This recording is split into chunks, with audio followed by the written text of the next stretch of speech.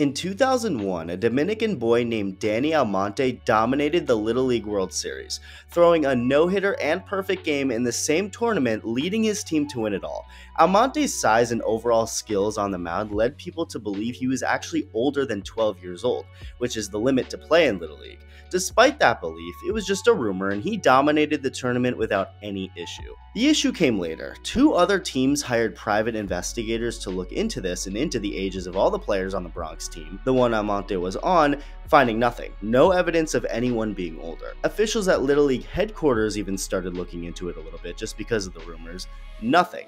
That's when reporters from Sports Illustrated went down to the Civil Records building in Moca, a city in the Dominican Republic, finding evidence that in 1994, Felipe Almonte, Danny's father, had registered his son's birth date as April 7, 1987 which makes Danny 14 years old at the time of the 2001 Little League World Series. So this is all discovered, the report comes out, and a full investigation was launched by Little League. Danny's mother, Sonia, had a handwritten birth certificate saying that Danny was born in a totally different city in the Dominican, not Moca, at a house in 1989 with the help of a midwife, and this had been registered in 2000. Both the parents continued to deny the truth, insisting their son was born in 1989, but the truth soon was confirmed. He really was born in 1987. His parents had lied to get him into the tournament, and as a result, the team had to forfeit everything. All of their records and numbers were wiped from the record books, and the team basically no longer existed in a sense. The dad, Felipe, was of course banned,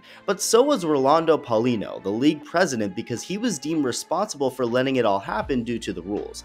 Danny himself allegedly had no idea about the falsified documents and was cleared of any wrongdoing. Danny was basically looked at as a victim here, along with the rest of his team and really the entire league all victims to the parents of Danny and people who made and let this illegal thing happen. Now, at the end of the day, as wild as this story is, it's still Little League Baseball. It's not like it's Major League Baseball. Something like this could never happen in Major League Baseball, a league that generates over $10 billion in revenue, right? Well, no, actually, it does happen. It's happened before, years ago, to several different players, some of which were big names, players that were able to lie about their age and got away with it until eventually having the truth come out. There's even a future Hall of Fame player who, although it has never been confirmed, is still speculated to this day to have had a false age while playing. This is a real issue for Major League Baseball and its teams. There's more to it, and not only is it real, but it's only getting worse. Really quick, about 78% of my watch time is from people who aren't subscribed. So if you enjoy the video, consider hitting that like button and subscribing if you haven't already, as it helps reach more people across YouTube and everywhere. It'll make me happy, which is not what several Major League Baseball teams are feeling right now regarding some of their international players. I recently mentioned this in a previous video, but when the Dodgers signed Adrian Beltre back in 1994, he was believed to be 16 years old but was really 15, with the truth coming out years later. I mention this because this is one of the age situations where a player was actually younger than originally thought, only by a year, but this is something that's happening again, with Major League Baseball also dealing with the complete opposite issue. The site The Athletic recently came out with a big report on this with tons of new details on one of the biggest sports scandals in history that's now back in a big way. It's a problem baseball had 15 to 20 years ago, where it was actually referred to as Agegate. MLB responded to this issue by establishing an investigations unit in the Dominican Republic, and since then there had been a few instances here and there of players lying about their age, but it wasn't nearly as bad and frequent as it used to be. That is until now. Just recently, it was reported that more than 50 players also recently just had their arrangements with teams nullified. Juan Soto did everything clean as far as the process and route he took to becoming a big leaguer. Soto, who was born and raised in the Dominican Republic, waited until he was 15 years old to start working closely with one of the trainers who develops prospects scouted by major league teams. But for many other kids in the Dominican, they take a bit of a different, more earlier route, going to these independent baseball academies at just 13 or 14 years old. Things have since changed with the international market regarding how teams can spend on international amateur players who aren't legally allowed to sign until 16. Before 2017, teams didn't have much of a cap on how much they can spend on international players, spending more without much care for the penalties that came with it. Because of this, in 2017, MLB got more strict on it, implementing a cap or a limit on how much teams can spend on international young players. As a result, teams have been reaching unofficial deals with players at incredibly young ages. The point teams might make is that if that young player doesn't agree to an unofficial deal now, the money might be gone by the time they are 16 and eligible to actually sign, and so it started to become normal for prospects to start start committing to teams at just 14 years old. And after this handshake agreement was set, the player would then disappear from the market, with it also being reported that teams are said to have pledged contracts to players even as young as 12. And it's also become normal for trainers in the Dominican to have 10 and 11 year olds practicing and staying at their academies. Longtime player agent Ulises Cabrera, along with many others, have claimed there to be corruption in the system, a corrupted system that includes trainers paying MLB teams under the table, something that's become more common now than in the past. There's been talk over the years of a draft potentially being implemented, in international draft, but Cabrera doesn't believe that'll fix anything about the system, a system that, according to him and others who know what's going on, has scouts influencing the player they want's trainer to sell a percentage of the kid's bonus to another trainer from the scout's own region.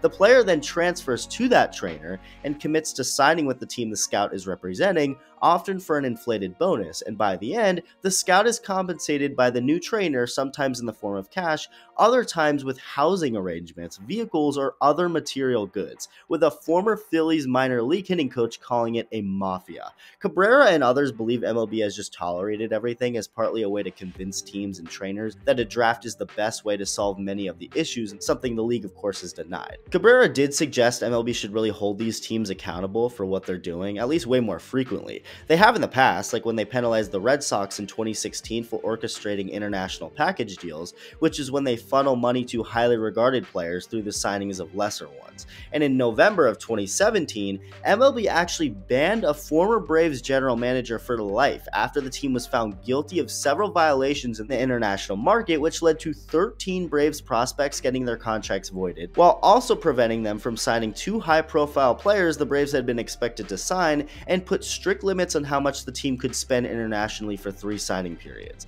What a lot of teams have been doing, simply because they're basically allowed to under a system which is looked at as a failed one, is taking away their verbal agreements with the players, forcing some of these kids to have to sign for less money than originally agreed upon if they want to sign at all. Eddie Fontana, who's a longtime trainer based in the Dominican Republic, had a first-hand experience of this back in the 2020-2021 signing period, where one of his players committed to a team for over a year for $1 million only for that team to later inform the player less than a month before the original signing period was supposed to open that its international budget had been slashed. Fontana was fortunately able to get that player signed with another team, but for less than half of the original amount he was promised from the other team. And many times a player is forced to go back out on the market with a reduced value being 16 years old. The emphasis on signing young players has gotten so big that according to Juan Soto, he says that if you're 16, teams don't even want to see you. The reality is, Latin American prospects are exploited in a corrupt system that does not treat them the same as the prospects in the United States, Canada, or Puerto Rico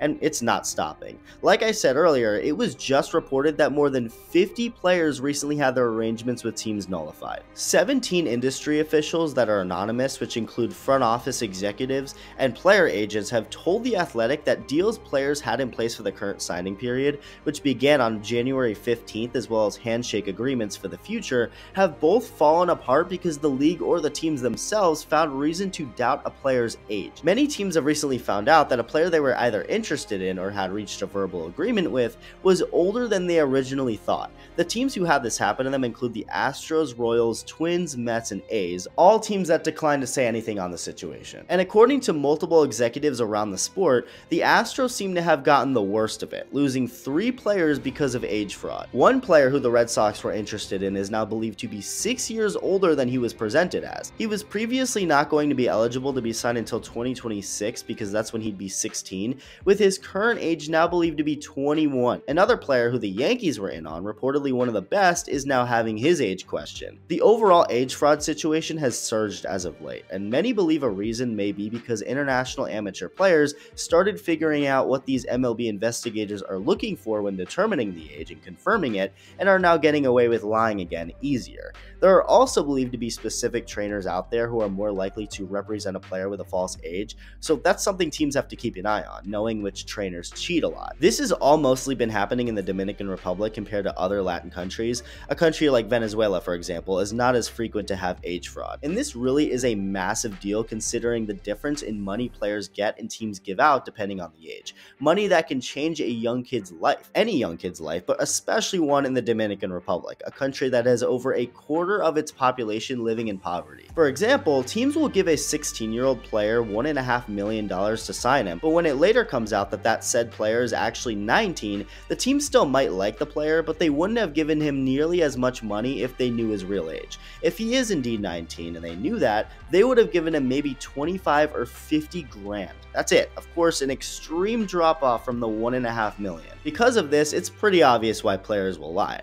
Albert Pujols, a legendary hitter who's expected to be a first ballot Hall of Famer, has been accused of lying about his age and being older than he's always been looked at while he played. According to ex Marlins president David Samson, whose team considered signing Pujols back in December of 2011 before he agreed to his big deal with the Angels, said that no one in baseball believed Pujols was telling the truth about his age when he signed the Angels contract, saying that he and the Marlins knew he would be unproductive, that he was not the age that he said he was, and they had all of the information. It's never been confirmed, but we do know about a couple other big league players who did lie about their age. Former left-handed pitcher Wandy Rodriguez not only lied about his age, but lied about his identity, taking on a new one and calling himself Any Rodriguez, which was his friend's name, who was two years younger. Because of this, Wandy being supposedly 17 was way more attractive of a player than if he told the truth that he was 19. Miguel Tejada, a really good and powerful hitter, someone who won the MVP award with Oakland, also lied about being 17 when he was really 19 when he signed with the A's back in 1993. The age fraud situation has become a massive thing, yet is also just one part of the overall failed and corrupt system, with trainers reportedly illegally taking amounts of money from these players. An unnamed international scout had this to say, quote, These kids are 12 to 13 effing years old, and their agents are shaking hands on $4 million plus agreements. It's fair to assume that creates additional pressure on agents to make younger and younger kids appear more and more advanced over their classmates. With that scout also adding on that it doesn't feel like anything is slowing down at all. And there is currently a flyer circulating for a showcase of 2030 eligible kids, kids who are just 10 and 11 years old. It has become absolute chaos with clearly no end in sight unless MLB takes action. Whether it's disciplining all who are contributing to these illegal activities, putting more resources into seriously cracking down on these issues and looking at it way closer, having an international draft, all the above, or other solutions, it's clearly a big problem and it's affecting the entire league. To have more than 50 players getting their deals ripped apart because of this, players these teams originally thought would play an impact for their organization, is no joke. That's real, and it's very clear that the most corrupt system in baseball has and is continuing to only get much worse. Let me know what you think. Thank you for watching. Subscribe if you enjoyed this video, and I'll see you soon.